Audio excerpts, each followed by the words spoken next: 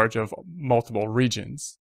So if we consider just a, how this cost structure could work, if we consider an executive vice president of operations, these being the controllable costs, this is at the higher level now. We're talking about the higher level, the vice, uh, the executive vice president of operations. We got the controllable costs, the salaries for the VPs, the uh, quality control costs, the office cost, the East region, the West region.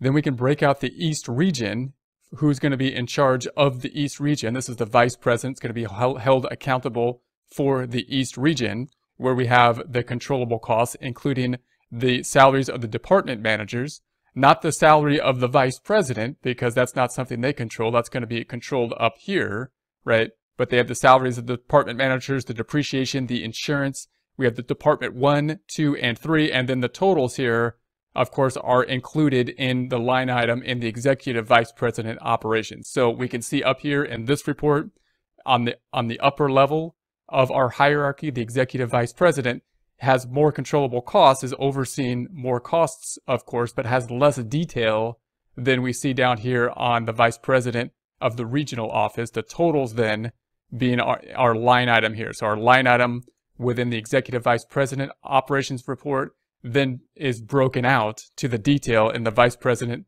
for the East region report. And of course, those totals add up there. And then if we drill down into the department one, then we, we would then have the plant manager for department one. Again, here's the summary information for the, for the higher up level, the vice president of the East region. Here's the plant manager level where we have now the detail of that department one. They got the direct materials, the direct labor, the overhead, the totals then here. So the more detailed report then being on the lower level, and then it being summarized up at uh, the higher level.